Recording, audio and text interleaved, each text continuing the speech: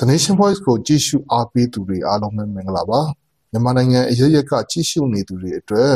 ဒီတစ်ပတ်မှာတော့အရေးပေါ်အသက်ကယ်ခြင်းလို့ခေါ်တဲ့ CPR ပြုလုပ်နေအစစ်အစဉ်ကိုပြောပြပေးသွားပါမယ်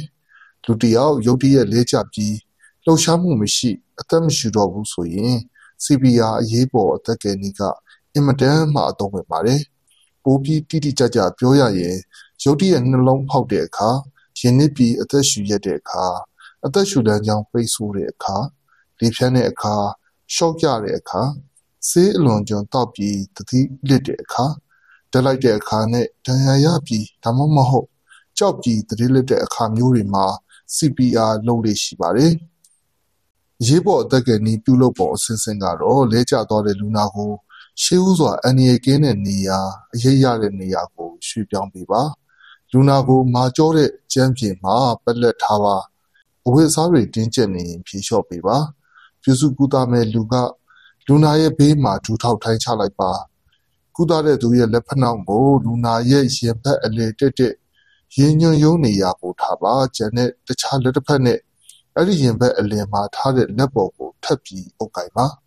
လက်နှစ်ဘက်ကိုဆက်တန်းထားပြီးလက်ဖက်နှောင်းအားကိုသုံးပြီးလူနာကိုဖိပေးပါဖိနေစဉ်မှာ CPR ပြုလုပ်သူရဲ့အလေးချိန်ဟာလက်နှစ်ဖက်ပေါ်မှာ တက်ရောက်နေသင့်ပါတယ်။ရင်ဘတ်ပေါ်တစ်ခါဖိတိုင်း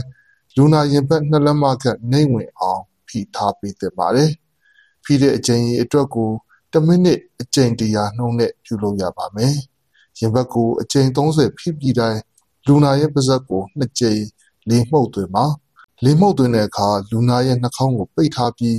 မေးစိတ်ကိုမကပါးစပ်ကိုဖွင့်ဟထားရပါမယ်။ပါးစပ်မဟနိုင်ရင်တော့ နှာခေါင်းကနေ လေမှုတ်သွင်းရပါမယ်။လေမှုတ်သွင်းတဲ့အခါလေကိုကောင်းကောင်းရှူရှိုက်ပြီးလူနာရဲ့ပါးစပ်ကိုငုံမိအောင်ထားပြီးမှုတ်သွင်းပါ။လေမှုတ်သွင်းနေစဉ်မှာလူနာရဲ့ရင်ဘတ်မှုတ်မောက်လာမှလုံနီးမှန်ကန်ပါတယ်။ CPR ကို2မိနစ်ခန့်လုပ်ပေးပြီးတိုင်းလူနာရဲ့အခြေအနေကို ပြန်လည်စမ်းစစ်ရပါမယ်။လူနာသတိမရမချင်းဒါမှမဟုတ်လူနာတင်ရင်မလာမချင်းဆက်လက်လှုပ်ဆောင်ပေးသင့်ပါတယ်။ ကြည့်ရှုအားပေးခဲ့ကြတဲ့သူတွေအားလုံးကိုကျေးဇူးတင်ပါတယ်။မြန်မာပြည်သူပြည်သားတွေအားလုံးဘေးအန္တရာယ်ကင်းရှင်းကြပါစေခင်ဗျာ။